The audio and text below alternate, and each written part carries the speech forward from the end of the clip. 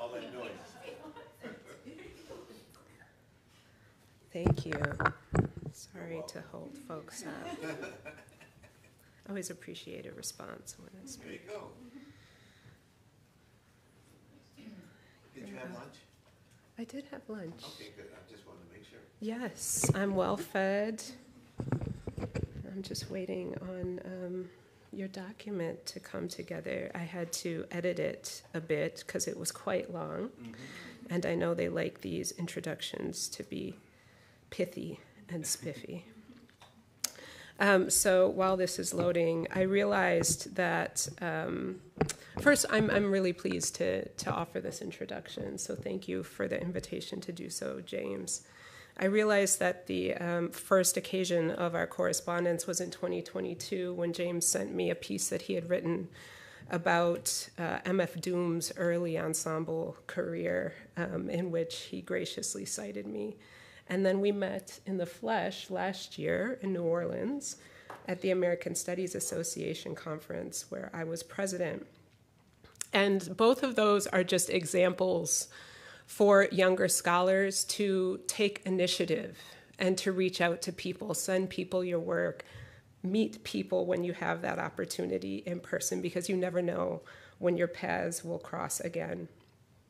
So I'm really happy to have this opportunity. And it's lovely to be able to build on these uh, brief encounters by hearing your latest work, James. A cultural historian, writer, and curator from London, James McNally is a current Nasir Jones Hip Hop Fellow here at the Hutchins Center. Jo- James has held a uh, Marie Curie Fellowship at University College Cork in Ireland, where he was affiliated with the Cy- Cypher Hip Hop Initiative, and has been a postdoctoral researcher in the Department of Music at the University of Bristol. James's broad catalog focuses on the histories of hip hop, race, and place, as well as cultural studies of the British variety, my favorite kind.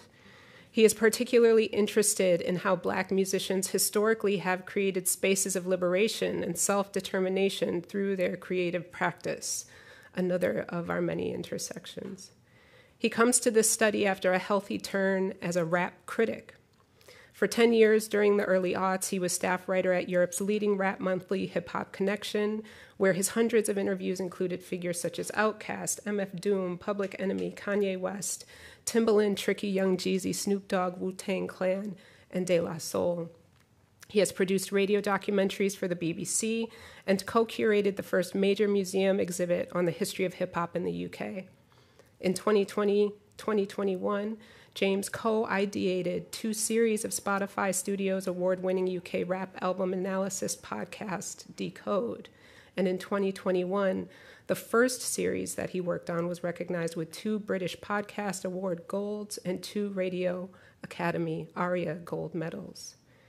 He has now set his sights on academic work, and I'll say for better or for worse, and I wonder in which camp you'd identify today. He has written for the Journal of Popular Music Studies, Journal of the Society of American Music, Global Hip Hop Studies, and Visual Culture in Britain. His PhD research was accomplished as an AHRC doctoral scholar at the University of East London, where he explored the arrival of hip hop in London during the early 1980s. This research argues that for a substantial black led cohort of polycultural Londoners, hip hop emerged as a new site of futurity, conviviality, and fugitive identity, and opened up possibilities that yielded a long line of UK black sonic innovation. The book is currently under contract with Routledge and will be published as Future Shock London in 2025. His current project, from which he'll speak today, is provisionally titled The Long Island Rap Renaissance Hip Hop and Black Suburbia in Post Civil Rights New York, and seeks to unearth a social and cultural history that has, for the most part, remained hidden in plain sight from hip hop history. Please join me in welcoming James McNally.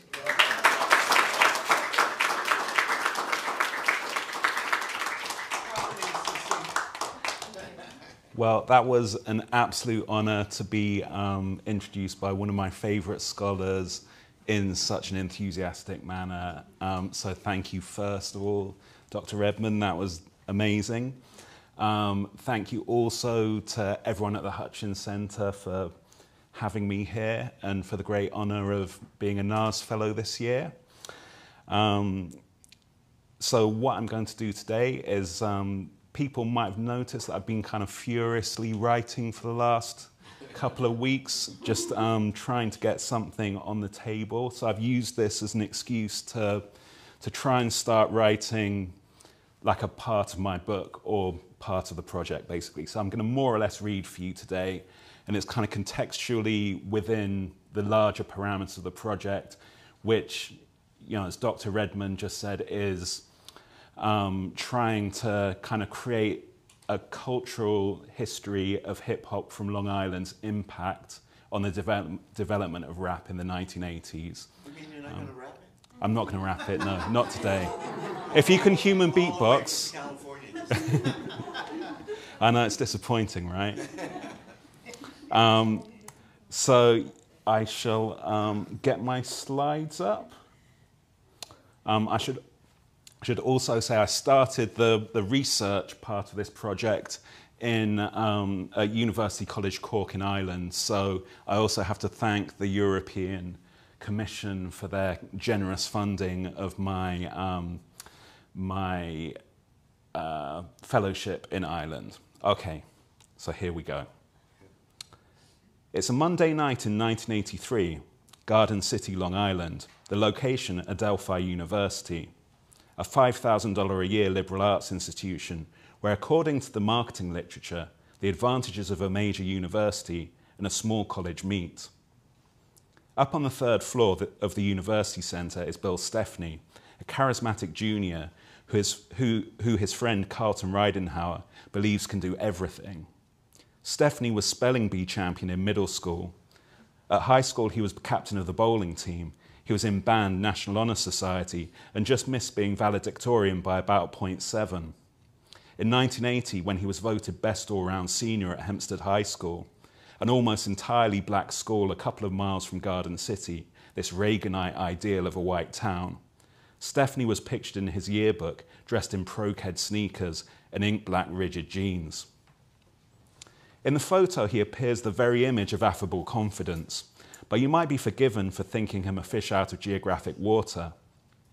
An unambiguous devotee of a nascent inner city hip hop style in a county seen as America's prototypical white suburban landscape.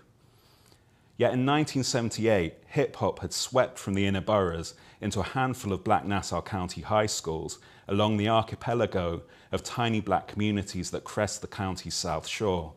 Quote, we're walking around with the boomboxes playing those tapes of Grandmaster Flash and everybody pretty much at the same time as it's happening, except we're in Hempstead, we're in Roosevelt, we're in Uniondale.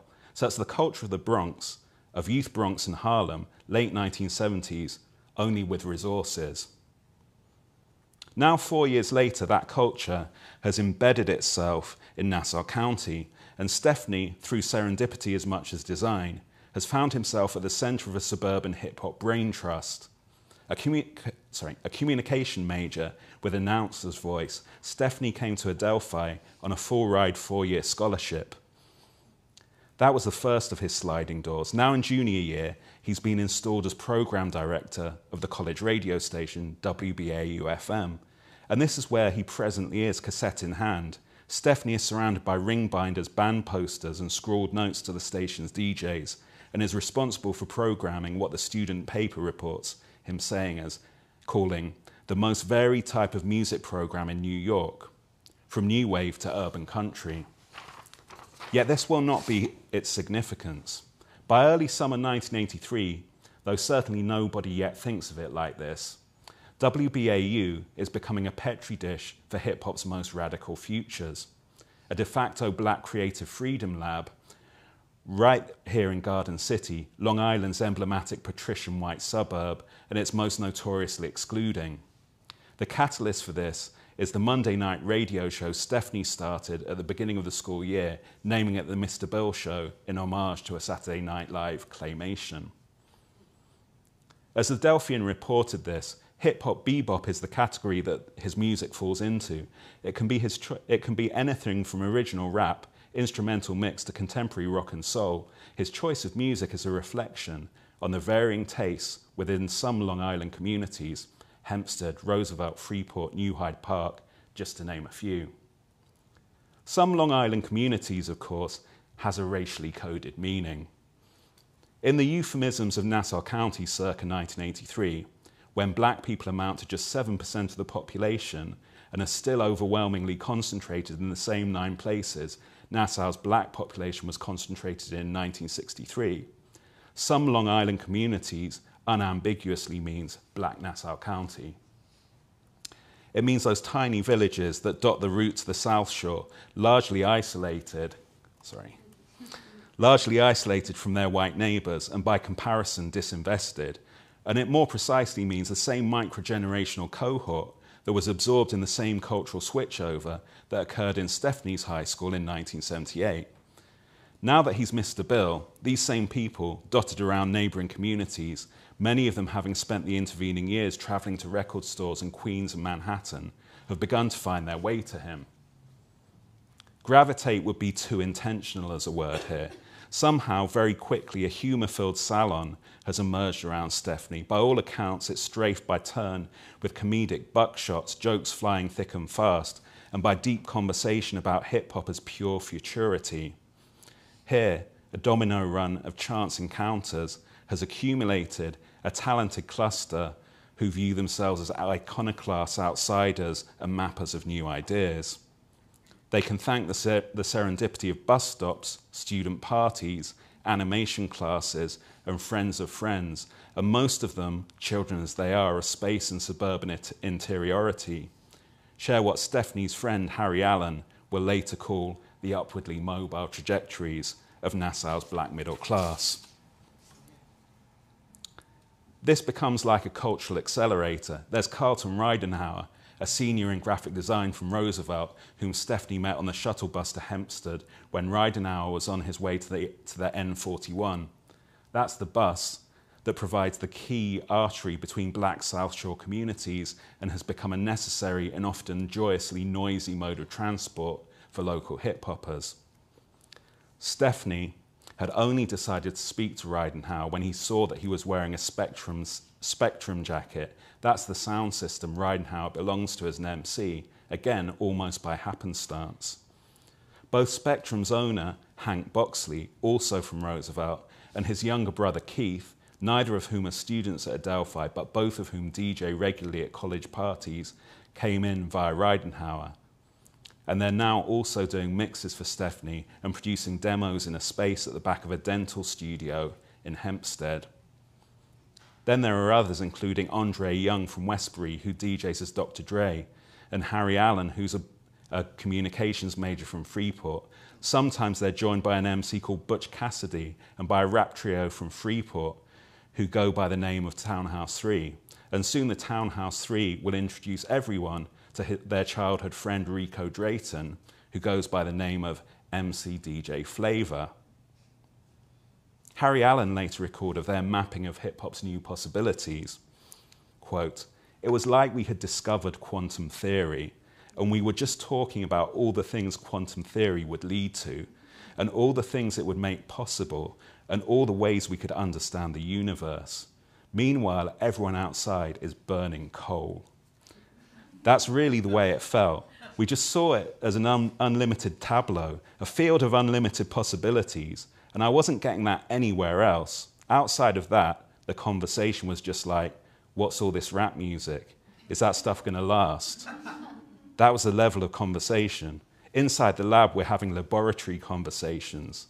I was talking to fellow scientists. Stepney, like many of his peers who would help shape hip hop later in the decade, had not grown up in the inner city. Rather, he was a child of the black suburbanization that saw Nassau County's black population double between 1965 and 1980. His family, like many, many of those same peers, was part of the broad but ultimately often fragile post 1960 emergence of what Bart Landry called the new black middle class.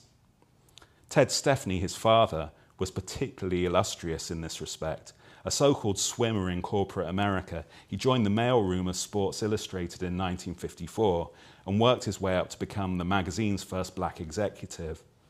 In doing so, he created a life that interfaced with black stars like Jim Brown and Muhammad Ali.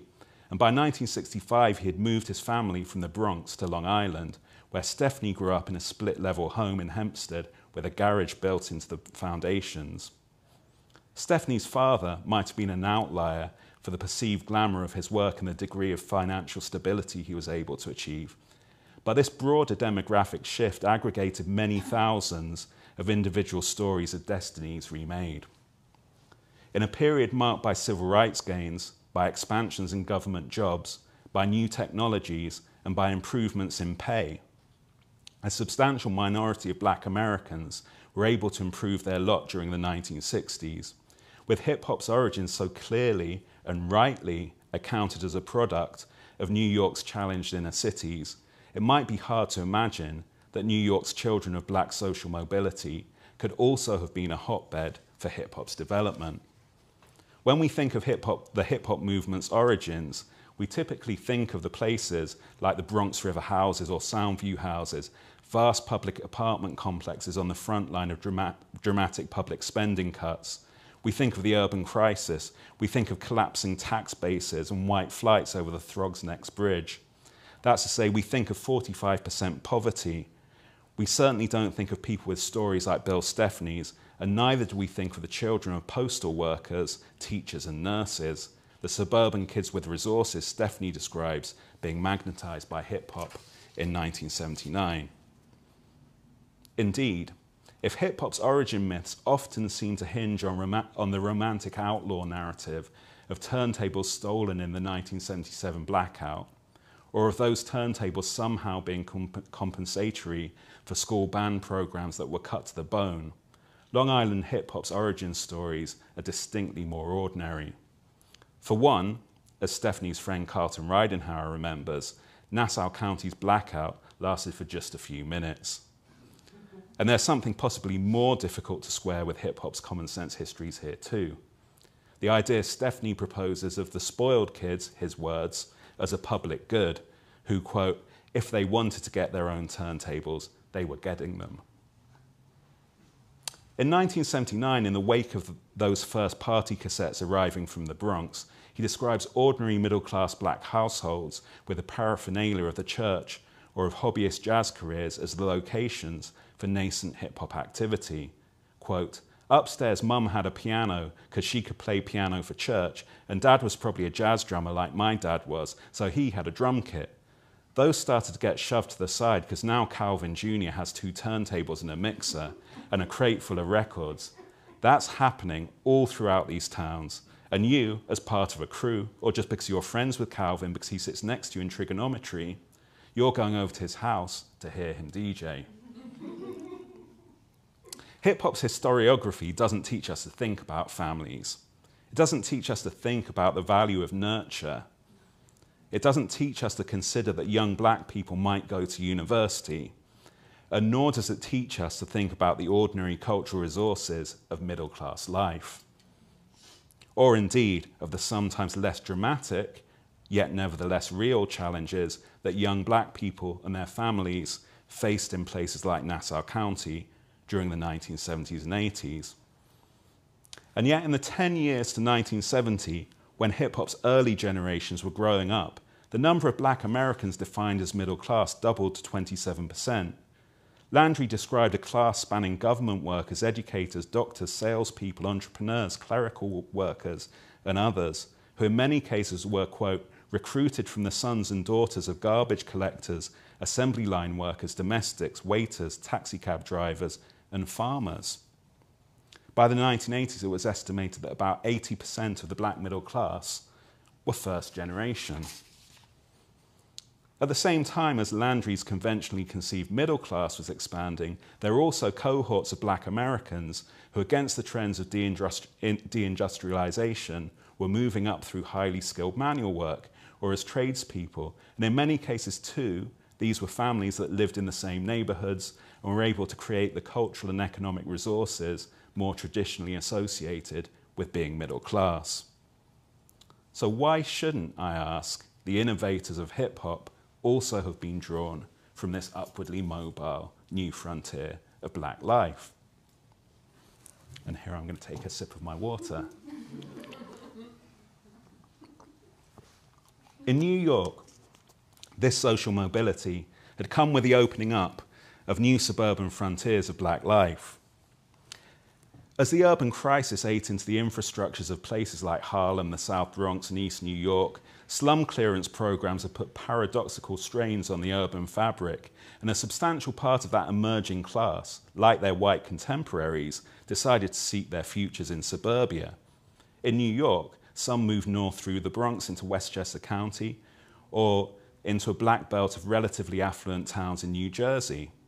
But from the mid 1960s, a wave of black in migration to Nassau County and to the western sections of Suffolk County more than doubled Long Island's black population by 1980. In 1960, Nassau County had had a black population of just 39,000 people. By 1970, that was 65,000, and by 1980, it was 90,000. If this sounds like a drop in the ocean of a 453 square mile suburban county with a population of 1.3 million, that's because it was.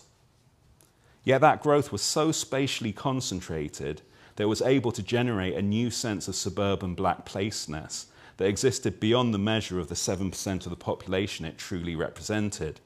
Stepney himself recalls that his family initially had searched for a home in affluent white East Meadow in 1965, but he says, quote, they were racially steered to Hempstead where, you know, African American families were being redirected by real estate companies. What year is that ad?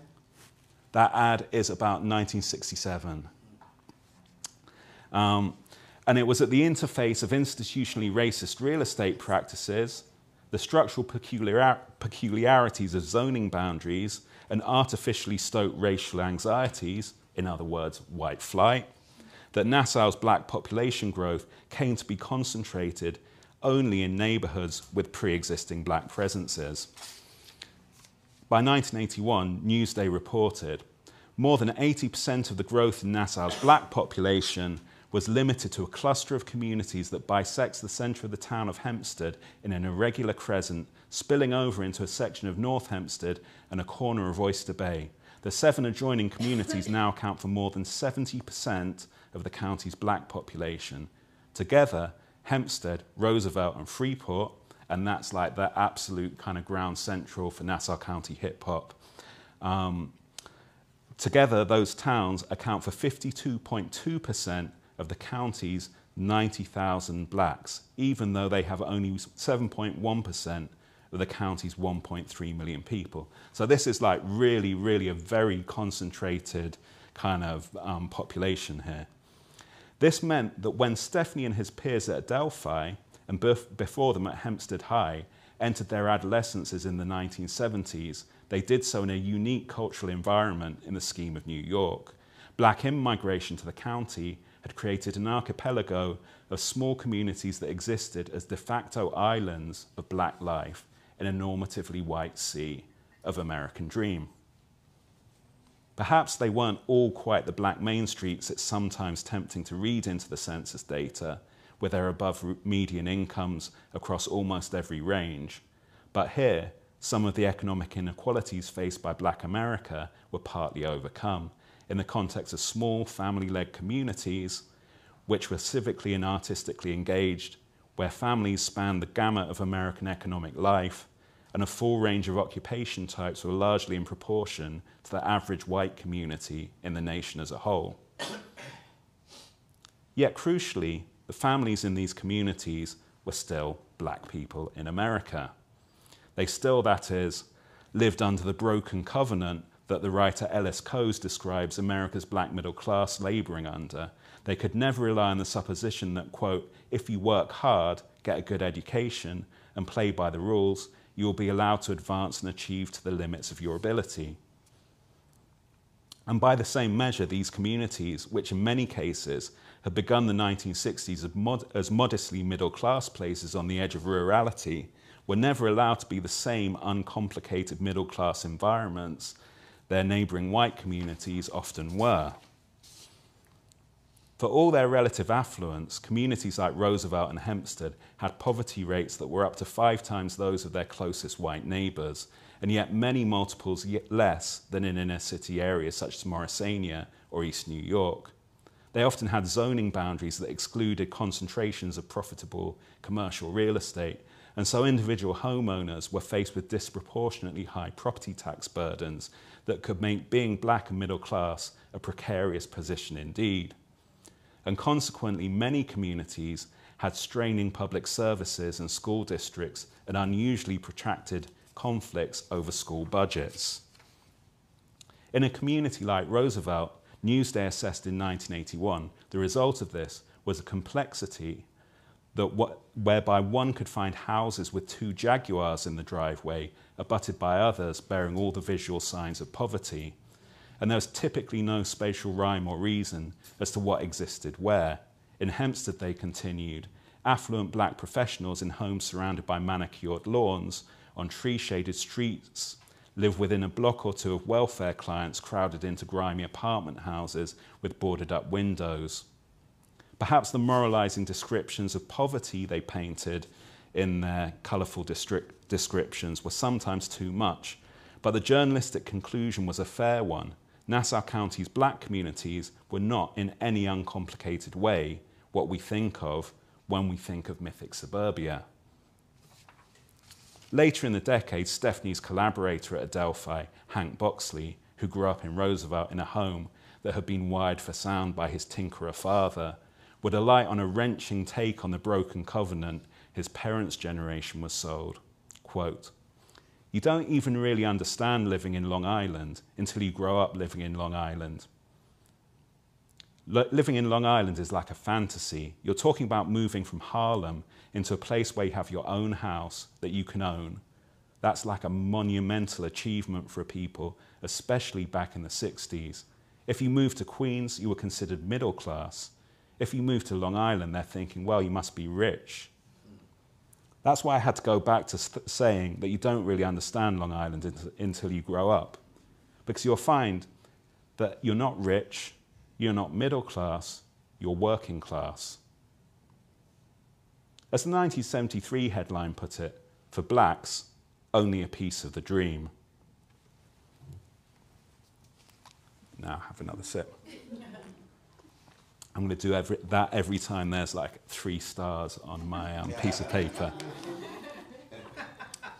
As a historian, I'm interested in the way particular places at particular historical conjunctures generate the circumstances for unusually vital cultural production.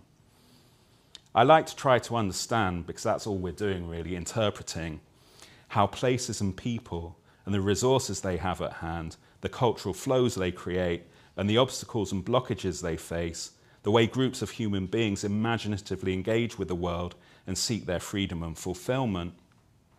I try to get at how all this stuff creates opportunities for new and interesting things to happen.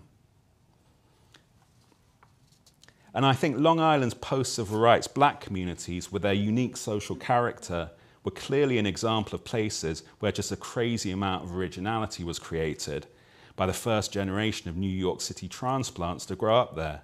From Rakim and De La Soul to, De to Public Enemy and EPMD, these were all acts that had fundamental impacts on how hip hop could sound and express new things during arguably the music's most vital period of development. And I think it's clear that one of the things that post civil rights suburbanization did was it created a black inner New York diaspora which put people from all the boroughs in these tiny communities. And that created a petri dish of perspectives and links to the city in a context that was somewhat well resourced, which was musically and culturally highly engaged, where children generally were nurtured, and which provided physical and psychological space. The kids that grew up here were in a historically unique position. They're growing up on the front line of new black life on the edge of almost rurality they have physical space and interior space. They're working out what it means to be simultaneously so connected to New York and yet so distant from it. So they have this perspective on hip hop as it emerges, where it's both something that's exciting and exotic, and distant enough to be reimagined, and yet at the same time they feel a generational, racial, and regional ownership of it, frequently via relatives who are still in the thick of the neighbourhoods the music emerged from. And at the same time, this is an environment that might predispose them to what you can think of as a suburban black double consciousness. They're caught between two competing misreadings of their situation. From the perspective of the inner city, they're variously seen as country, soft, or rich. And from the other end of the telescope, they're being consistently misrepresented in surrounding white communities and by various news media as belonging to a nascent racialized ghetto in the very heart of suburbia. So, in a very real sense, they're made to feel like the other within. It's quite a betwixt and between. But I wonder if this created a Du Boisian special kind of perception that partly also ultimately manifested in the creation of highly original art. We return to the third floor of Adelphi University, but suffice to say, the big spoiler here is that I'm talking about people who within a few short years would become the rap group Public Enemy. And those of you who don't know, Public Enemy, perhaps more than anyone, created, created a generational shift in hip hop during the late 80s. A really multi layered shift, which it's hard to even summarize. At the level of Sonics, the Boxley brothers, who came to be the Shocklees in their production career, reinvented the whole sound of sample based hip hop they, they created this invigorating wall of noise, which is inherently musical, with a just astonishing amount of invention and vigorous craft. Intellectually, it's kind of like the free jazz of hip hop.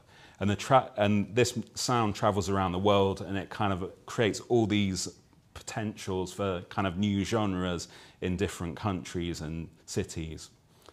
On the level of MCing, from Carlton Ridenhour, you get to Chuck D. I think early on, Russell Simmons gets to a key truth of Chuck when he describes him as like the Paul Robeson of hip hop due to his incredible voice and presence. And Chuck and Public Enemy set about exposing the dialectics of his conjuncture from the viewpoint of a youngish black man in America. His influence as an MC, his authority, his command of rhythm, and his musicality with the timbre of his voice is vast he becomes synonymous basically with what a politi- politicized rapper should sound like. And then we're getting to the group's political influence. Public Enemy really create this generational rupture in hip hop. They introduced to hip hop in a concerted way the explicit influence of black consciousness movements. And in this, they're consistently misread as being the voice of the inner city, yet they're totally children of their suburban environment. They're responding to the Black Consciousness summer programs their artistically and civically engaged parents sent them on as children, things that are coming out of Nassau County activist communities in the early 1970s. And they're also children of black studies, which they're being exposed to in a somewhat concerted way at Adelphi. In this moment, they have met the mentorship of a jazz drummer called Andre Strobert, who's teaching philosophical approaches to black music at Adelphi, there's an active black student union that they're in the vicinity of. And in 1983, this is already filtering into what Stephney and everyone are doing at WBAU.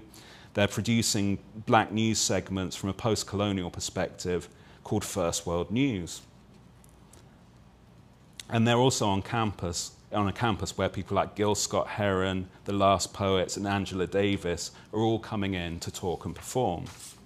So by the time Public Enemy happened, they've generated this initially intellectual question in their little think tank of what happens when you take Run DMC and smash it together with The Clash, who were Punk's political powerhouse group at that particular time. And they, then they kind of somehow actually make that happen. Then they're taking all these influences and sending them all over the world, and that impacts young black hip hop generation people everywhere, and also many young white people like myself for whom this was intellectually and politically generative. I think the way their environment has generated that kind of suburban black double consciousness is critical here. They're middle class and they have some of the benefits that accrue to middle classness. They're viewed from the inner city like they're rich, which they're definitely not. and at the same time, they've grown up in an environment that frequently reminds them of the second classness of their middle classness. And then, specifically, when they go into Adelphi, they're daily in an environment that Harry Allen later describes as poisonously white. And that's not on some I hate white people kind of tip. This is a town where the deputy chief of police repeatedly talks about racially profiling black people as if that's a public virtue. And I'm absolutely not exaggerating here. There's like a, you know, at least three or four news articles that I found where he literally says that. I have a long piece of writing on this, and through it, you kind of get to understand why very early on in his career, Chuck D would be saying, quote, it's apartheid like a motherfucker out here. Then he goes on to say, one thing about Long Island is it has given me the opportunity to look up close, sorry, to look at up close white America and its beliefs and fears. I've been stopped by police for walking through Garden City coming from Adelphi to the bus stop. I get mad sometimes when I get stopped by police because I'm riding in a loud Jeep. They think I'm a drug dealer. They say I look like that type. It's insecurity and lack of knowledge that breeds racism. But I refuse to be a victim because a victim is a loser. Uh, you know, it's just like incredible. This is like the most, um, the, the least likely to be a criminal guy in, on the planet, pretty much. He's so, like this really, really kind of intellectually engaged, kind of middle class kid who just wants to be an artist, basically. He wants to be like a comic book artist or a graphic designer. And he's going to the, this university, you know, that he's gotten into, and, you know, he, this, and this is something that apparently was like happening to black students at Adelphi really frequently, which, you know, is just kind of horrifying. So, in a very direct sense, this is the place where these young people who every single one of them is brilliant and who have done exactly what society tells them they should do, find themselves in the crosshairs of the public enemy logo, so to speak. So, the public enemy logo is like a silhouette of a kind of homeboy figure with a crosshairs across it, and it symbolizes the black, kind of young black man in America being public enemy number one. So, this is Adelphi is where they write public enemy number one which is about being construed as a, a, an enemy within America. And this is ultimately the place where they become public enemy and not Run DMC Part 2. So it's a completely a, a misreading to see them as these kind of representatives of the inner city, although they're like obviously talking to inner city issues as well. The, the fundamental core of who they are and what their project is is from this kind of this really kind of segregated environment that, that they grow up in Long Island. And now I've got three more dots, so. Okay. So during 1983, this nascent hip hop community began to record and broadcast original music. Ridenhour, who was now going by the name Chucky D, later suggested this had been almost an afterthought. Quote, we wanted to make tapes for the radio station to advertise that we played rap when other people didn't. For Stephney, the sudden flourishing of new music directed at the station had just as much to do, though, with an existing void in the representation of black life in Nassau County. The show had quickly become a magnet for local rap crews' creativity, and Stephney began to receive what he describes as homages not to me, but really to the show. And I think it I think also to the concept and prospect of Black Long Island, Nassau County, having its own radio station. WBA, WBAU was something local that they could relate to. And I think they were just so passionate about having something so close that they'd go into either their basements or bedrooms and create tapes for us. It's hard to quantify just how important this would be for rap's later development and for Long Island's coming centrality in the genre's so called golden age. From this zone of suburban black invisibility, WBAU was able to hang creatively with, the, with inner New York's rap radio pioneers in a moment that was suffused by broadcasting invention. If this was a source of affirmation and pride for Nassau's nascent hip hop scene, it was also, more practically, an engine for serendipity and the confident transmission of the idea of Nassau County hip hop as a legitimate creative force. What happened at WBAU in the mid 1980s would, in no uncertain terms, shape how the rest of the world experienced hip hop in the late 1980s. WBAU was where the transformative DJ producers Hank and Keith Shocklee first produced their own music and began to explore the signature, their signature sonic tropes. It was where Andre Dr. Dre Young, of Original Concept, a key pioneer of hip hop's ubiquitous detuned Roland TR-808 bass kick sound, and later one of the triumvirate of Yo MTV Raps presenters, began his career as a broadcast personality and made prototypes for influential recordings, including Original Concept's Knowledge Me. It was where Public Enemy's Flavor Flav hosted the MC DJ Flavor Show and auto-fabulated his already obviously abundant star quality into compelling solo recordings like You're Gonna Need Me and other less enduring ones like Party in My Pants. And it was where Stephney himself would serve his apprenticeship as a connector of people, ideas, and sounds, leading to the tenure at hip hop's most influential label, Def Jam Recordings, which would see him briefly become the company's president by decade's end during the label's most for forceful period of cultural influence. And then there was Carlton Ridenhour as he, as he felt his way from be, be, sorry, as he felt his way from becoming Chuck D via to let me um, back up on that sentence. Um, and then there was Carlton Ridenhour as he felt his way to becoming Chuck D via Chucky D. Once Stephney presses, presses play on his cassette, MC Chucky D is soon encouraging listeners across the Long Island airwaves to dance. If they do, he promises, voice like Paul Robeson giving a speech, as Russell Simmons said, they'll be rewarded with a free ticket aboard the Townhouse 3 Funk House into Spectrum City.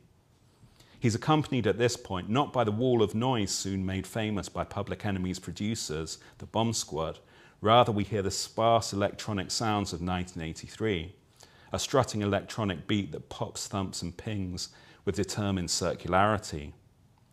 Intermittently, there's the rattle of a fare box, and Chuck's accomplices, whispering in counterpoint his sonorous boom, aid the anticipation that we're building to a departure, a whispering, Suki, Suki now, Suki, Suki now. The Townhouse Three's funk train, it seems, is going to be a thrill.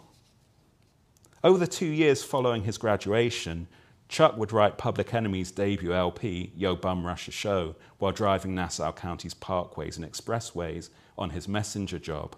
For now, though, he was still somewhat marginal in hip hop, primarily a party MC on a suburban island the rest of New York barely even considered a rap underdog. That, of course, would dramatically change later in the decade. Yet this if any, is the moment from which all that flows. Nelson George rightly views hip hop's early development in the Bronx as embodying a teenage black inner city grace under pressure, a set of approaches to creativity, fun, aspiration, and self fashioning, in which the post industrial New York of the urban crisis was constitutive, a because of, not in spite of. I'm not the first to point out this involves a brilliantly outlaw inversion the challenged inner city, product of structural racism, emerges as a badge of pride via hip hop's collective genius. In hip hop's worldview, the inner city becomes a zone of belonging, an emblem of rugged resilience, and an impetus to creativity in every part of life. Hip hop was and is, to use George's evocative term, the most self consciously ghetto centric of genres. I want to suggest that Long Island by the early 1980s had emerged as a kind of symbolic anti Bronx, both in the culture at large, where it was emblematic of white success in the American dream, and more implicitly in hip hop. In a 1981 piece describing the mores of New York's rap scene, George makes the contrast explicit. Quote, the regular audience is composed of teens and young adults, college students, and office workers in Sasson jeans and sneakers getting loose. Dreams of upwardly, upward mobility spin in their heads, but reality says that many will visit, visit Attica prison or the unemployment line. Long Island and two Cadillacs is more than a few miles away economically, if not physically. As George here hints, Long Island was an unknowable place beyond for hip hop's imagined geography that was seen through the prism of the winners of the suburban dream. 92% white, 82% home owning, and 84% single fam homely residing. Nassau County's median capita per income was $21,000 in 1983 when Chuck D boarded the Townhouse 3's funk train. In Bronx County, it was $11,000. If the Bronx had epitomized the inner cities the 1968 Kerner Commission warned would become a separate but unequal black America by the 1980s, Long Island was its white and prosperous other, the destination of inner New York's white flights, the beneficiary of its lost tax dollars, and the Arcadian le- leisure land for the, for the New York middle classes envisioned by Robert Moses, whose Cross Bronx Expressway tore a totemically careless rupture through the working class Bronx life in the 1950s. This left black Long Islanders in an ambivalent position and in any real sense invisible. Not only were they frequently racistly miscast as ghetto dwellers by white neighbours, they were also misperceived by many black New Yorkers, as we have discovered, as rich, when the reality of their lives was typically far more complex. When Chuck D arrived in Roosevelt at the tail end of the 352% black population growth of the 1960s, this 70% black village was neither rich nor poor. Its median income was around $1,000 above that of the nation. 25% of residents had government jobs, 46% were white collar workers, another 10% lived below the poverty line. In the scheme of America's embedded racial inequality, Roosevelt's distinct averageness might indeed have seemed a life of unimaginable privilege to many, especially those on the sharp end of inner New York structural inequality. At the same time, however, as we've, see, as we've seen, Roosevelt was relatively much well off than pretty much every white community in Nassau County, which was the nation's third most wealthy in 1970. It's unsurprising then that hip hop's territorialism sometimes came tinged with antipathy to the suburbs. In 1988, when one then famous rapper first heard Wyandanch MC Rakim's futurist rap masterpiece, Follow the Leader, he stated, It might be cool for some folks, but kids on the streets of Brooklyn don't want to hear that mess. For him, Follow the Leader was the sound of kids who, quote, grew up in areas where they could afford to buy all the latest records and study the tracks so they could make better jams. With views like these seemingly widespread, or worse still, a subsection of inner New Yorkers seeing Long Islanders as easy prey, EPMD's Erick Sermon later reflected, quote, It used to be nobody wanted to be from out here if you were into rap. If people asked you where you were from, you'd say, I'm from Brooklyn. Um, but by the time Long Island acts like Public Enemy, De La Soul, Rakim, and EPMD had risen to the forefront of rap, the situation had switched. Now a DJ has to ask, is Strong Island in the house? Everyone wants to be from Strong Island because they know good rappers come from here. The work that Stephney and Chuck D and Co did at WBAU was crucial in forming that positively framed vision of Long Island. N41, the song on Stephney's cassette, is a case in point. The first recording that was broadcast featuring Chuck D's voice, N41, was a Nassau black belt posse cut by Freeport's Townhouse 3. Chuck's funk train, it turns out, is actually the bus he catches every day to get to Adelphi, the N41. At the same time, it's a vibe filled party that could just as easily be a wonderful, sweaty basement. As a piece of sonic poetry, is particularly apt to its Long Island context. Produced by one of rap's great producers in waiting, Keith Shocklee, the track's inventive conceit was to put the listener inside a sonically immersive ride on the N41, the standing room only bus route that connected 82% black Roosevelt to black neighborhoods in Hempstead and Freeport. These were, in Shocklee's opinion, the three hottest towns in Nassau County. Quote, You could not be in your way, in our way, and not ride that bus, he says. As Stephney describes it, the five MCs create at the beginning of a track, quote, a scenario where they're getting on this bus, which is an actual bus that comes from Freeport called the N41. And like that era, they're playing their loud rap music at the back of the bus, and the bus driver's yelling at them. You know, one of the bus passengers is yelling at them, telling them to turn it down.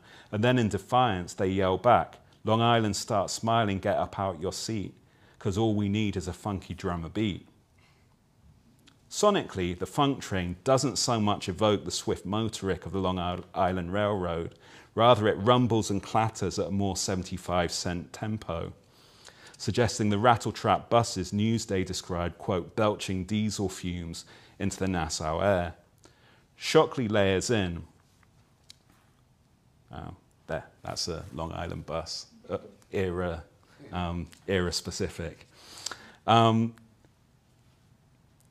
Shocklee layers in the ambient sounds you would expect to hear on the bus, the driver calling out Long Island black communities as if they were stops, the small talk of passengers name checking the food joints they're about to go to, or hailing new passengers.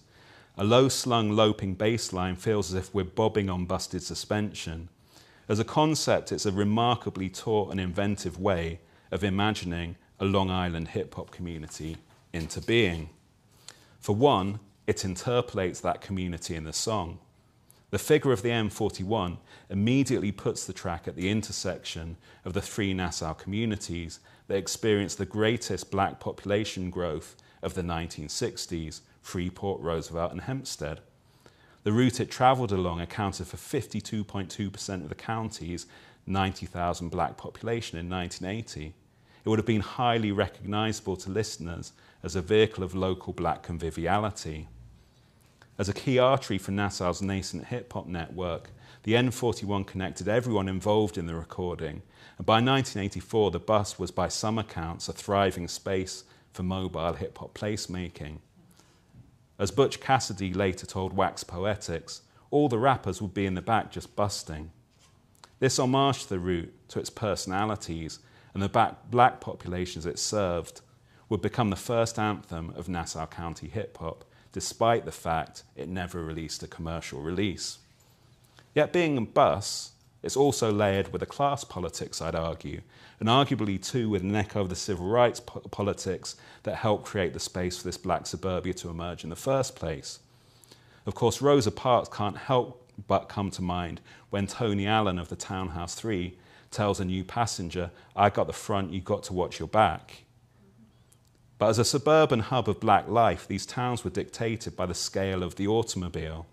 Bill Stephney later reflected Long Island black youth culture of that era, you couldn't live without transportation. Hempstead, Roosevelt, Freeport, and Westbury, they're not within walking distance at all. On this level, the N41's very wheeledness is a key part of its essence of Nassau. Yet it, it also isn't a car.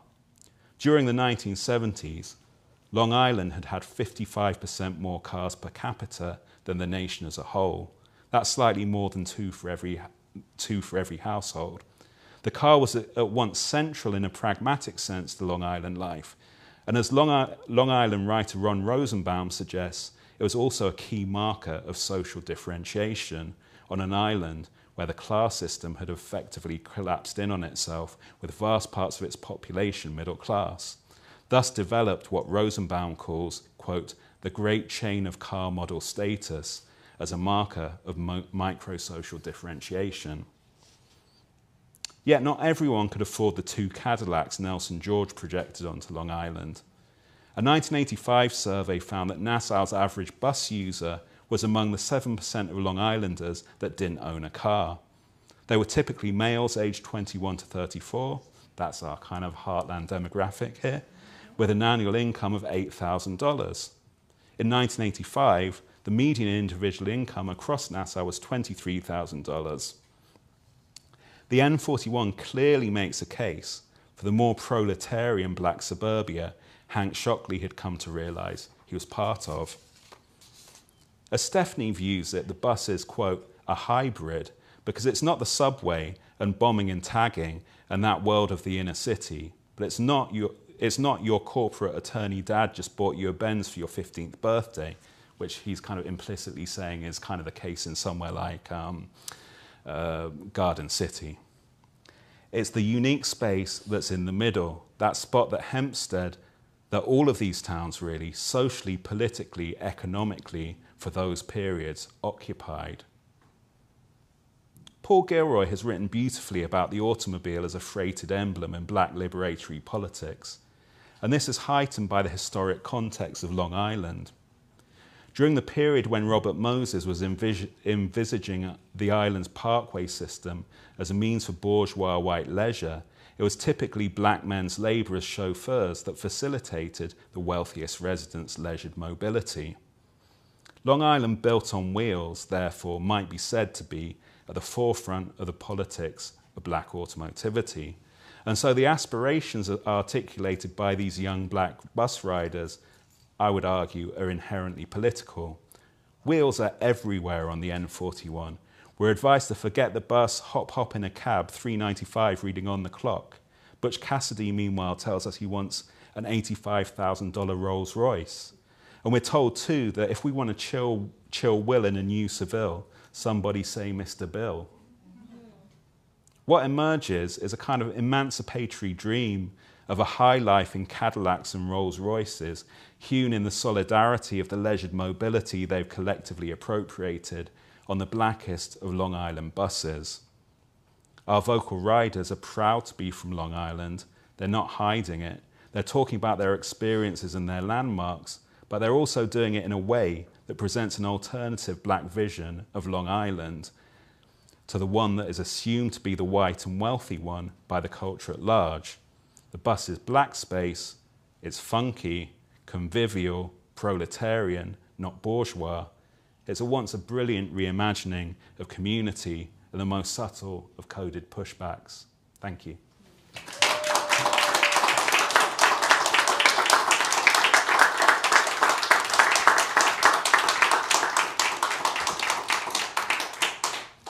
Wow, that was great. I was taking a furious notes. Um, we're doing a our next Black History documentary is on the Great Migrations. Mm-hmm, mm-hmm. So I was writing to my producers saying, "How are we dealing with the migration mm-hmm. to the suburbs?" And I yeah. filmed this before in a series, a couple Black History series ago. Uh, a family that moved from Brooklyn to Long Island, mm-hmm. um, but uh, it, it's very much a part of the reverse migration. Because mm-hmm. when black people would move from the south to the north, between 1910 and 1970 mm-hmm, mm-hmm. started to move out. Yeah. But we tend to think of reverse migration as the movement from north to south when they were moving north to south, but from inner city to the burbs too. Yeah. Um, but just a, a, couple things. The um, you didn't, unless I missed it, talk about the class structure in the black community mm-hmm, in the mm-hmm. inner city you know, we've always had yeah. classes, right? And that's very important. Mm-hmm, mm-hmm. It's not like these people went from being, you know, underclass to middle class. Yeah. They were middle class, probably. Mm-hmm, mm-hmm. uh, that's who moved, right? I mean, yeah. and there were middle class people that kind of stayed as well and kind of were still part of, you know, they might have moved a couple of miles down the road or something, but they were still in the Bronx. Yes, what, right. That they were middle class in the in, wherever mm-hmm. they were moving from they were middle class and they found a new middle class mm-hmm. instead of moving up they moved this way is mm-hmm. that right or am i wrong um, s- sorry say that last bit again the socioeconomic yeah. status of mm-hmm. the black people who moved to mm-hmm. what'd you say hempstead yeah hempstead um, roosevelt roosevelt uniondale those kind of places right what would what would before they moved from the inner city there? What was that? My bet is mm-hmm. they were middle class in the inner city. Yeah.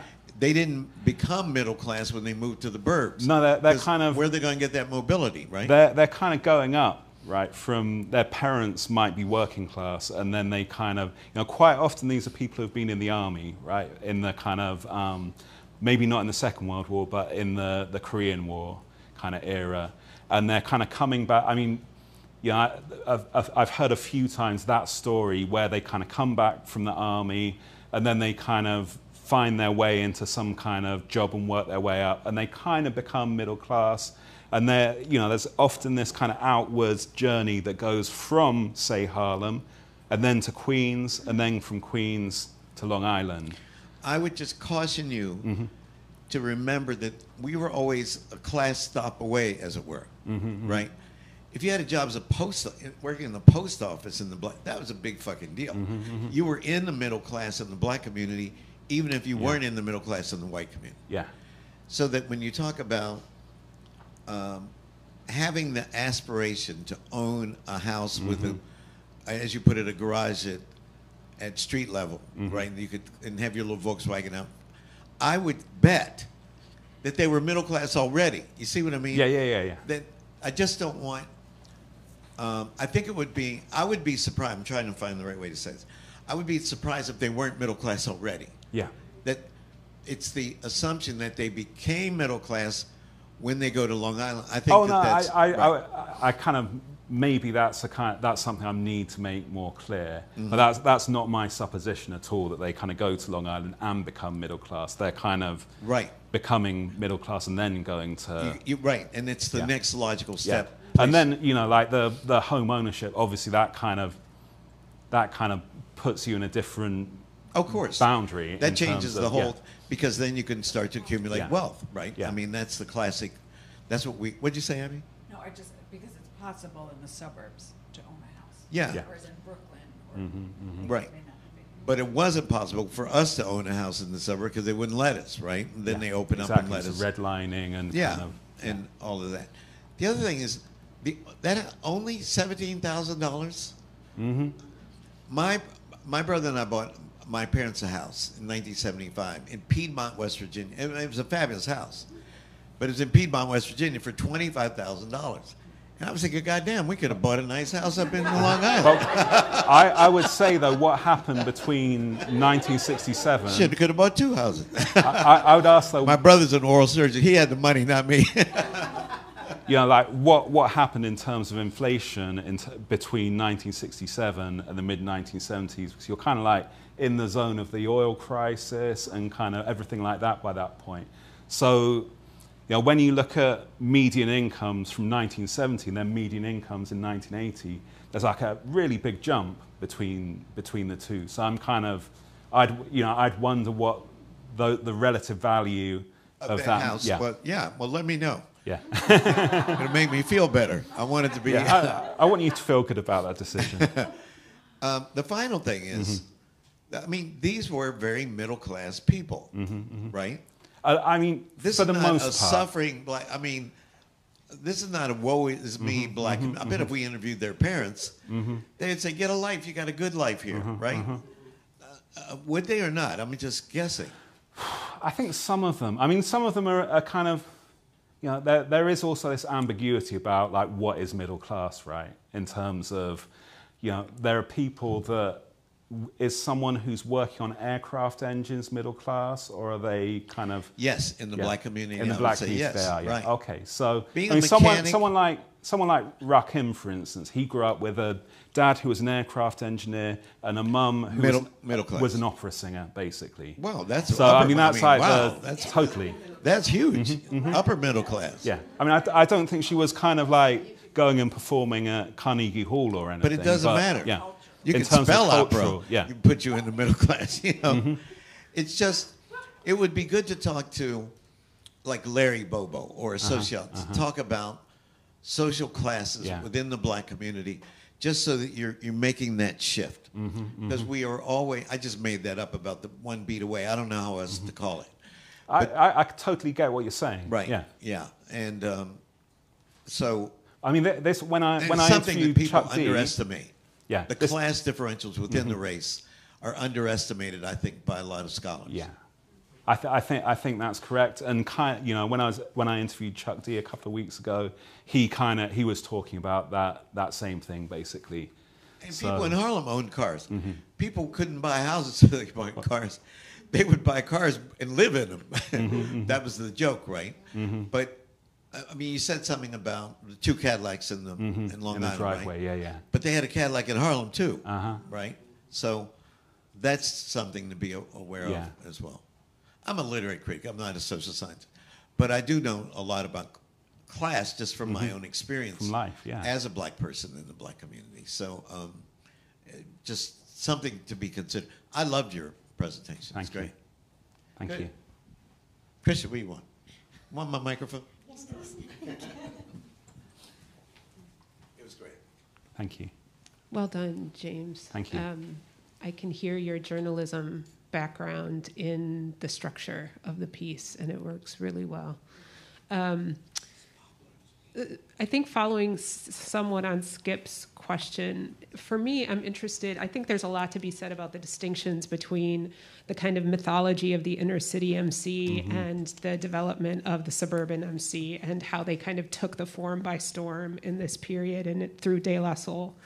But then De La Soul also, right, becoming part of native tongues and the, in mm-hmm. the ways in which the boroughs merged at a mm-hmm, certain mm-hmm. point in the historical trajectory. So I'm interested in hearing you say what is not so different between them, right? Because I think there's a lot to be made of, well, mm-hmm. this is suburban or like the later iteration of the backpack rapper, right? like I think there's a lot to be said that distinguishes them, but what brings them together? Because part of what I heard Skip saying too is in relationship to the ways in which cla- the black communities in the inner city were already class rich, mm-hmm, right? Mm-hmm. They were already diverse, already multi scaled in these spaces that are so called inner city that have been deeply, deeply pathologized as much as mm-hmm, black suburbia has been Yeah. pathologized, right? So, what are those things that are holding them together? What's not? What, what's been made a big deal that is actually not that big a deal? Because these are spaces where people are living in dense proximity to each other. These are deeply black spaces. Mm-hmm. And it may not be the common sense that a place like Strong Island would be that, but it is the case, which is not so different than a Harlem or a Brooklyn, right? Mm-hmm, mm-hmm. And that you're seeing all of the intra-racial diversity playing out in the ways in which people are uh, using meter, using rhyme, the kinds of sampling they're doing, et cetera. So, what are the things that are being made a big deal that actually draw these kinds of distinctions into further blurriness in the historiography? Second question is to ask you to speculate. What happened in the few minutes of the blackout on Long Island? I think, okay, that one first. I mean, Chuck D literally said to me that the blackout happened. He remembers it happening, and the lights went out, and like seven minutes later, or a kind of similarly small amount number of minutes later, the lights came back on again. So I don't think anything probably happened beyond people just kind of going, "Oh, the lights have gone out." Um, you you can, but you don't. If you don't know that the lights are coming, aren't coming back on, you might not have the kind of you know that moment where you just break out and kind of think, I'm going to take advantage of this. So, but yeah, I mean, completely. There were, um, you know, there were. I mean, I guess this this folds onto your other question really, which is, you know, if there there was crime and kind of dysfunction in suburban black communities in Long Island. I mean, Rakim, you know, came from this um, this this kind of background where he had like a, a you know quite a lot of cultural capital. He had he was nurtured. He had you know he was playing saxophone in band. He was kind of you know engaged by his parents enough that he was kind of getting influences from John Coltrane in his own music approach to music and stuff. So he you know he had all of this kind of cultural capital, but by his own admission, he was a stick-up kid when he was a teenager. So he was kind of, you know, he was basically just kind of running around doing all the same things that you're, you're, you're kind of led to believe would be happening in quote unquote the hood. And so, you know, there, there are all these kind of proximities and kind of um, interweavings. And then, you know, obviously, I mean, my, I can use the example um, from, from my own life of my wife who grew up in, in the South Bronx. Um, but she, she grew up in what was basically a middle class um, private apartment complex. And, you know, I've heard people, I've had conversations with people who, within hip hop who have referred to that space as the hood, as if it's kind of like Bronx River houses or something. But the way her family talks about that place is like, oh, you know, the teacher lived next door, I was an accountant, like then upstairs it was like the postal worker, you know, it, it was like middle class space. So yeah, I, I, I think there are, are so many kind of over overlaps that kind of, um, you know, I, I've, there's this article, um, I can't remember who wrote it, but there's um, the, the building that Herc threw his first party in, routinely assumed to be kind of like quote unquote hood. Apparently, that was like built as middle income housing and was still middle income housing at that moment in time. And you know, they were they they were kind of like a hard working family from the Jamaican diaspora, and there were tons of families all over New New York's inner boroughs who were in exactly the same kind of situation. So I think, you know, yes, there are those um, 45% um, poverty rates in somewhere like Morrisania in 1980, but that's kind of that, that, you know that's that's concentrated, right? And then you know you know to to bring it back to your point about you know De La Soul kind of going and joining forces with the Tribe and everything. You know, like if you look at Phife's background, for instance, he, he was a product of the same kind of family background, essentially, as almost all of these people that I'm talking about. They were, you know, they were artistically engaged. They were kind of middle class, and you know, his mum was a poet, right? So it's really easy to just kind of assume. I mean, this is one of my bugbears about the way hip hop's written about anyway, which is this kind of assumption that everyone is kind of of the street, as it were.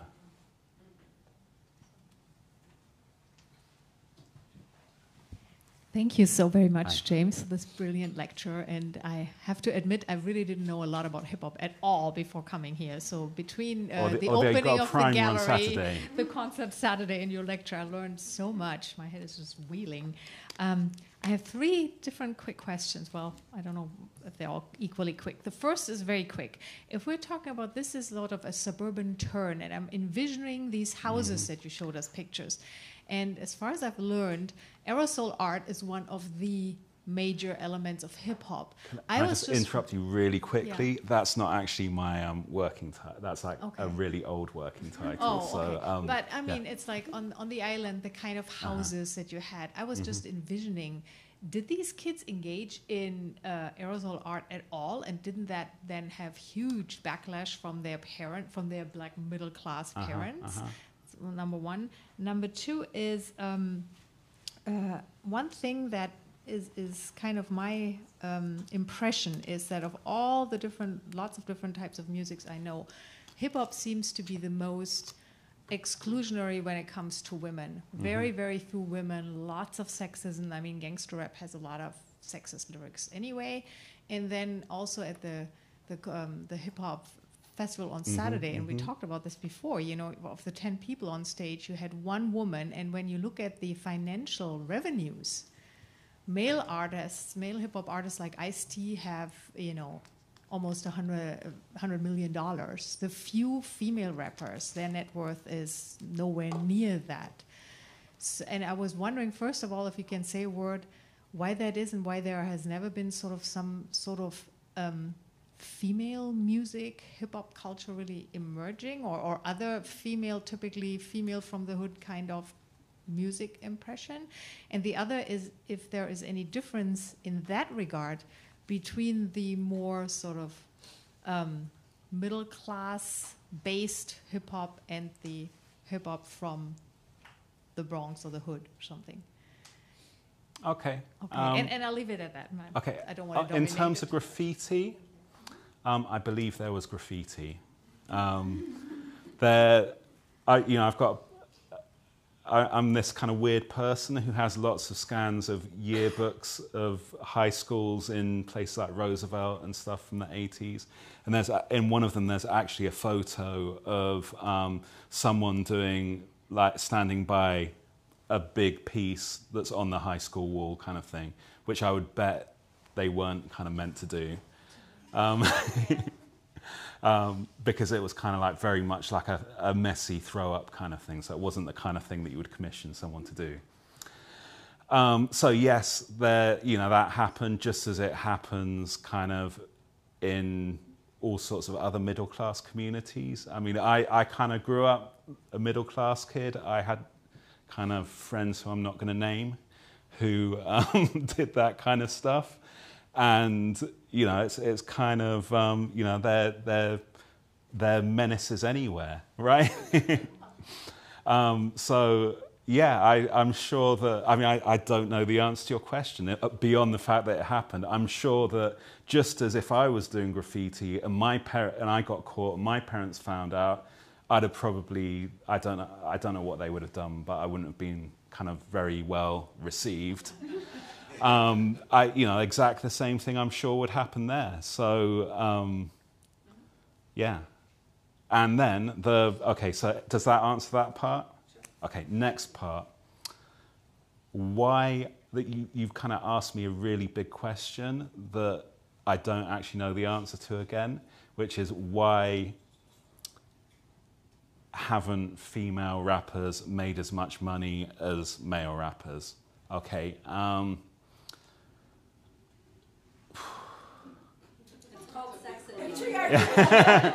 Thank you. I, I would say um, sexism, um, structural sexism. Um, um, I mean, I, I would caution you about looking at Ice T's val- net value and thinking that's to do with his rap career.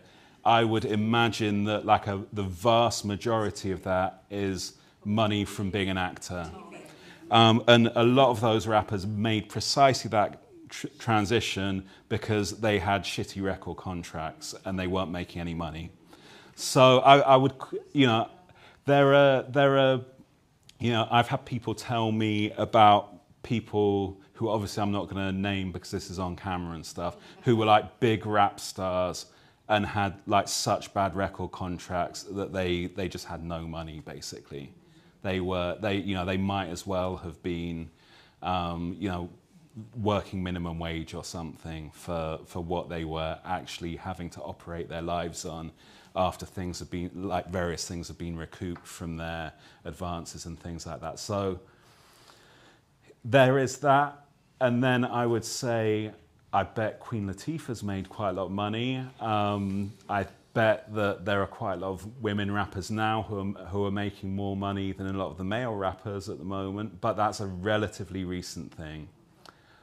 Um, so yeah, I mean, it's hip hop is inher- you know it, inherently kind of a a culture that is very masculinist and in parts like highly sexist. Um, so you know, this is all you know. There was a th- when I was a teenager. I'll, I'll give you this perspective. When I was a teenager growing up there was always this kind of normative thing of like a woman rapper being okay for a woman rapper rather than, you know, that's not an attitude that I had, but that was like absolutely normative within like popular cultural discourses around hip hop was like, you know, the assumption that women rappers weren't kind of good and that therefore if there was one that was quite good, they were kind of okay for a woman, but you wouldn't like you wouldn't want to kind of put them next to KRS One or someone like that. That was the kind of normative kind of assumption because it's like a teenage, you know, it was a teenage boys kind of culture forged in the image of teenage boys. And like, you know, Public Enemy, for instance, were older. They were kind of actual men when they became stars. So like by the late 1980s, they were kind of what, like 28, 29 kind of age. And um, there was kind of some stuff in their lyrics which you can kind of read as like a, a little bit kind of sexist, but they, you know, they weren't running around calling women kind of a word that I'm not going to use here in front of everyone. Um, or, or, ever. Or ever. Thank you. Um, okay. James. And, yeah. Look at the camera and give Mike Weaver your email address, would you? Where, oh, jmcn 1000 at yahoo.co.uk. The miracle of technology. So he, he's watching, and he emailed me, and he said, um, um, he have a picture of, I mean, he has his address, which was 147 Rhodes Drive in Hempstead. And then he said, Aunt Sarah did day work while her husband bartended on um, the same white Long Island family apartments, right? So they were in the middle class, but you wouldn't mm-hmm, think mm-hmm, mm-hmm. somebody doing day work at a bartender would constitute middle class. So and he's got pictures of them and all this. Oh, wow. Yeah, good-looking couple from the after military. Yeah. So maybe Uh huh. you know, there you go. That is meant for you. Excellent. Thank you. Yeah. I didn't know when I became the repository for reactions. Yeah. Whoever the hell got my email address and erase it. Um, Questions, yeah. comments? Oh, you, can I ask a Oh, yeah. Yeah, of course. Uh, so I'm a historian, and, Uh-huh. I, and I, I'm, f- first of all, thank you very much for that lyrical, beautiful, elegant presentation. It, it- you know, it really, your presentation has soul, or does it have hip hop? Either is anyway, fine. it has soul. Blue Um, Soul. a little soul. So my, my question is Mm-hmm. a typical uh, a question that a historian might ask. I'm completely ignorant of his hip hop and, and, and, and, and the scholarship about Mm-hmm, hip hop. What you presented here seems to be a very kind of layered uh, um, uh, essay that Mm-hmm, incorporates family, uh, real estate, class. I mean, it's really, I mean, it, intersection, there's all these elements to it. So my question is that what is, what is the historiography of hip hop in the last 20 years look like? Um, I mean, in other words, how, how, how, how what, I mean, what, what kinds of, okay, let me ask it a different, what kinds of things have, have uh, historians of hip hop been talking about in the last um, I 20 mean, the last, I, I would say like the last 10 years, there's just been like a, because all the, the foundation histories, there are like 15 different versions of everything, right? So if you want a book about the origins of hip hop in the Bronx, there's like a million books. So people are beginning to realize that there's like a limited market for more of those. So a lot of people have been right. You know, there there have been several books about um, women in hip hop released over the last kind of few years. There are books about hip hop in the in particular cities in the South. There are books about hip hop like in relation to um, the the urban crisis in Los Angeles or the suburban crisis in Los Angeles. Um, so there are all, all kinds of um, topics that are being, you know, it's wide open basically.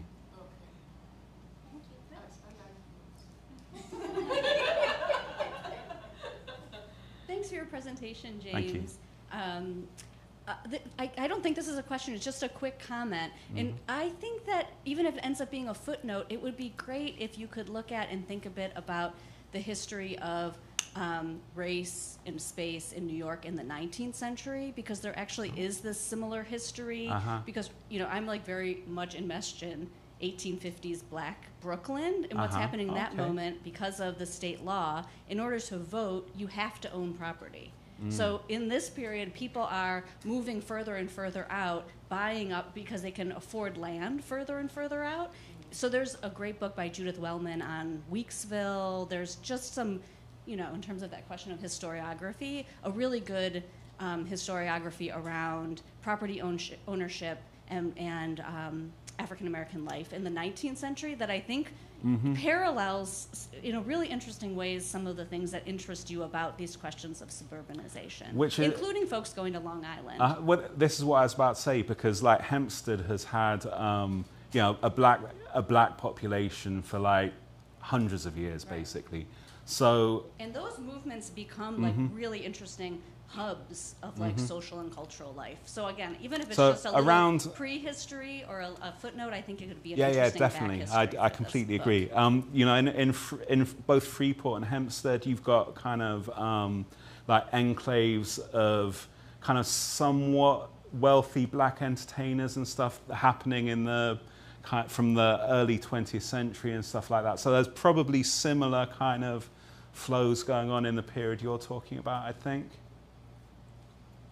But yeah, point me in the direction of some stuff. I'd really kind of um, appreciate that. Is it my go? Hey. Cool. Um, thank you so much, James. As you know, um, you know I grew up on Long Island, Mm-hmm. one town over from Rock- Rockham during this time period, so it just hit really home to see Mm-hmm, these images and, and hear some of these narratives.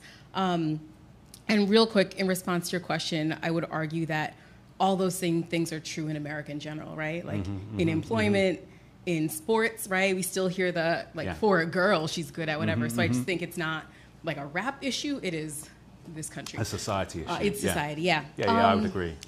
So your this presentation made me think a lot about the idea of an inherit, inheritance, Mm-hmm. um, and especially I was thinking about Bakari Kitwana's definition of the hip hop generation, right? And circa Yeah. the book came out in 2002, so he probably wrote it in like 1999, Um, and how he defined the hip hop generation as essentially the children of civil rights folks, right? Um, and specifically talked about how they had sort of inherited the failures of the civil rights movement, the things that didn't go well, sort of the Mm-hmm. Yeah, turn yeah, yeah. towards mass incarceration, um, you know, the crack epidemic on, on all different like Mm-hmm. spectrums of it.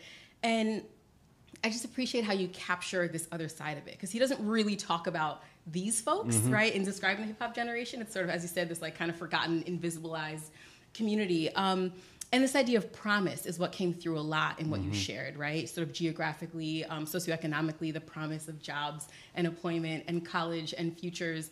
Um, and then specifically within sort of hip hop culture, a lot of the quotes you read were about like the future and these promises and this Mm-hmm, hope.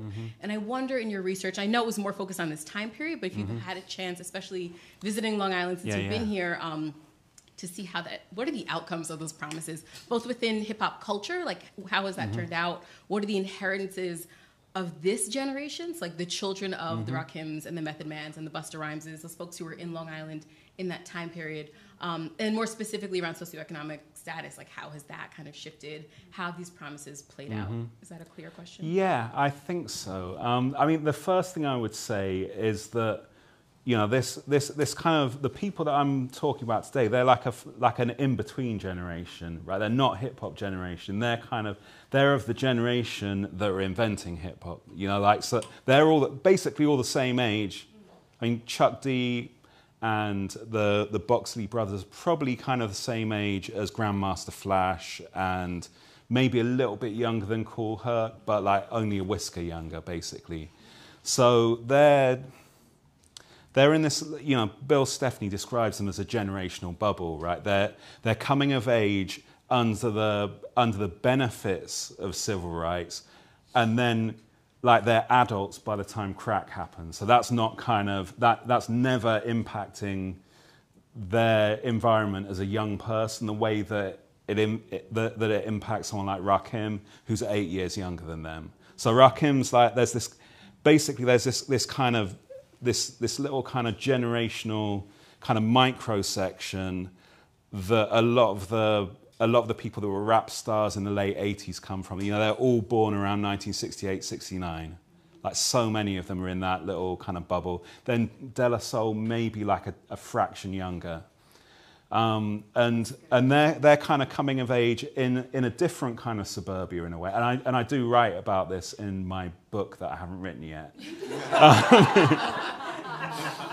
um, and uh, you know, basically, like the, the you know the, the, the difference between the communities that that I'm talking about as a community in 1980 and then what they look like by 1989 is is like there's so much so much bad stuff has happened, right? Because they're they're not insulated from you know Long Island isn't insulated from crack. Crack is happening on Long Island, and of course it's happening in black communities because they're kind of le- you know they're they're just left to kind of have not as many resources. So you've got you get kind of um, like drug front lines in North Amityville, Wyandanch, all of these communities. Maybe not so much in Roosevelt, but definitely kind of in Hempstead. There were were kind of areas where crack was being sold and stuff, and you know, they're, the, so these these are kind, of, you know, they, it enters a really really precarious, funny time in that period where you know that thing about the two jag, jaguars that that's kind of still there, but then there might be like then like you know that person's kids might be vulnerable to kind of get involved in crack sales and stuff. So you know the uh, and then you've got kind of greater unemployment by the late 80s as well. You've got, you know, all of these different factors are kind of coming into play in that moment that you see as the, the you know, within all of hip hop's narratives, all of the things that people are talking about in the late 1980s happening in the Bronx or Brooklyn or wherever, there's, there's a permutation of it happening on Long Island as well. So that these, these shifts are kind of hitting everyone. You know, I couldn't help but think of, uh, as you talk, uh, seeing all the the um, artists on the stage Mm-hmm. on Saturday, and I wonder if anyone's done a net worth study Mm-hmm. of the different generations of hip hop. Yeah. Uh, in the same way, of some of the greatest basketball players and football players made nothing, you know, compared to what people make now. Yeah. Um, um, and then there, um, just tremendous differential. Nas's niece graduated from Harvard Mm-hmm. in last year, right, or two years ago.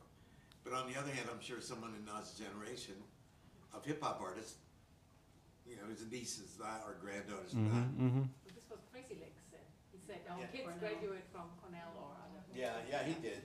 Yeah. His son did. He really pointed that But there was a lot of lament about, Yeah. remember, it was a lot of structured ag- agency conversation on that Mhm, stage. mhm. Was it, IC kept saying it was our fault to some extent because we signed contracts just to get fifty thousand dollars or twenty thousand dollars and we didn't have good advice.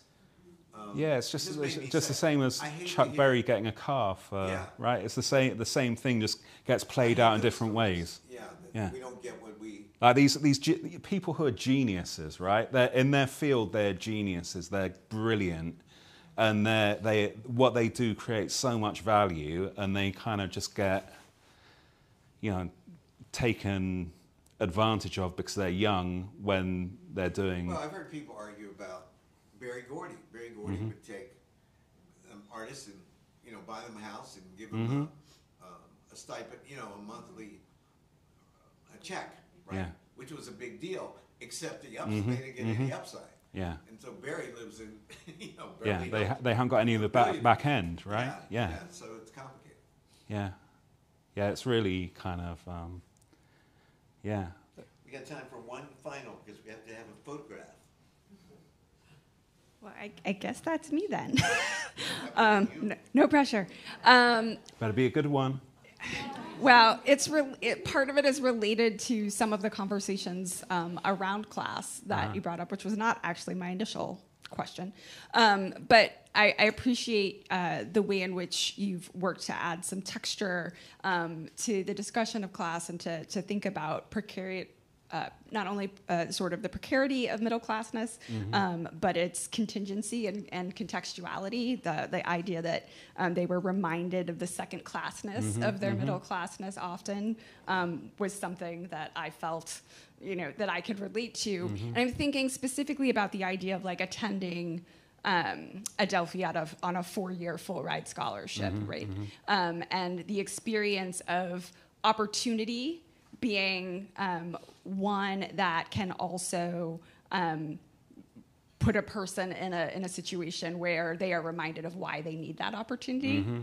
Um, and thinking about some of the observations folks have made about um, the specificity of black middle classness in the United States, that while there's class stratification, I think there also tends to be, or at least this is certainly true of the United of New Orleans, and I wondered if it was true in Long Island, of um, more interclass kind of connection community, such that you can be a kid from the projects going to a sort of elite black Catholic school where you would be attending school with folks who Yeah. you perceive as rich, while you are clearly a kid who is perceived as poor. And so there's sort of moments of touch. Um, I would say more opportunity for there to be sort of connections and, Uh-huh. and relationships between these classes, and I'm wondering kind of how that's playing out in Long Island. I mean, I think I think that's happening all the time, right? I mean, people are people are getting, you know, Chuck D was getting bussed up to um, W. Tresper Clark High School, which is in like a very well-to-do white area of Westbury. Um, and so, you know, I, I, I kind of actually know someone who was on that bus with him every day going from Roosevelt to, um, to that community. And like the, you know, the, there was just like, uh, you know, neither of them were like poor or from the projects, right? They're kind of from these kind of middle class, but not like massively stable kind of middle, financially middle class.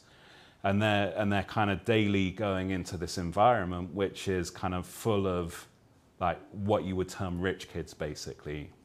Um, so they're, they're, they're, they're Are they rich black kids or are they rich white kids? I was just curious. Okay, rich white kids, Yeah, yeah. 'cause, like, so I you mean think even- within... yes. Okay, right. My dad is an example. He Okay. grew up in the projects. Yeah, yeah. Okay. But went to St. Aug High School with kids who some of them went to the grew up in the projects. Some of them would Yeah, have been I mean, very wi- within- solidly black middle class for generations. Within even... yes, but he was but my dad was like a first generation Mhm. in his family to go to college, period. Where he would have been going to college with other black kids who were Uh-huh, uh-huh, uh-huh. their families had Yeah. gone to college for Yeah, yeah, I- generations. again, yeah, I think that that was like maybe not in the context. I, I don't know about the context you're talking about, but in um, I can give you the example of um, you know in in Freeport there was this um, there was this like lit, this housing project that was basically like created as an island in this kind of area that was zoned for industrial use basically and then you know it, it's like literally kind of um, maybe six in, interconnected four story brick um, apartment buildings and they're just there and like then there you know there's all this stuff around them and then the houses are like off over there kind of thing and a few of the people that were involved in the stuff around the um, WBAU radio station at Adelphi were from that environment. So they're, you know, they're, they are. I mean, I don't know what they're. You know, I've, I haven't interviewed any of those people yet, so I don't. You know, I wouldn't like to speculate on what their economic situation was, but they're they're kind of living in this kind of what's perceived as this kind of island of hood within Freeport. Yeah, I just think it would And- be something to like pay Mhm. attention to. Yeah, to yeah, yeah, think about even for the, the folks who you're thinking of as being Mhm. black middle class. Are they black middle class kind of all in the same way? Mhm, mhm. Yeah, yeah, no, I mean, Um, uh, that, this is, I mean, this is what, this is why I'm, but even new black middle class, there's kind of striations, Oh, it's right? always because, precarious. because, Yes. you know, you've got, um, you know, I, you know, this, you know, Bill Stephney's middle class with his dad with an executive job at, um, at Sports Illustrated is a different middle class to, to kind of Chuck D's Yeah, black yeah. middle class with his mum working as a receptionist at Roosevelt High School and his dad basically kind of doing trucking type stuff. So that's there's a kind of a big a big difference there, right? But also are probably all perceived quite similarly Mhm. from like w- by the white kids they went to school with. Exactly. But I would also say all of these people have got members of their family in the Bronx, in Harlem, who are in in like kind of the situations that we would think of as the inner city, right? Yeah, or, or even in jail. hmm Exactly. Yeah. Absolutely. And the last thing So is it's, just a it's you know it's really kind of mhm. quick observation that like you've signed and locating this into lo- lo- very very quick in Long Island, and that's just that site seems super specific both Mhm. on the larger geographic Mhm. issue and like then these kind of microsites like the Mhm. N41 bus, like Adelphi University, and I just I was really drawn to the parts of your presentation that were so site rooted, Mhm. and just thinking about organization. That's maybe a particular. I'm wondering what are these other sites besides the university, besides the bus, Okay. um, that you might think about kind of using as a structural through line or a, Yeah. a way of thinking about the importance of place yeah. in your work. All right, was that quick enough for you? Quick enough. Thank you very much. Yeah, yeah, yeah.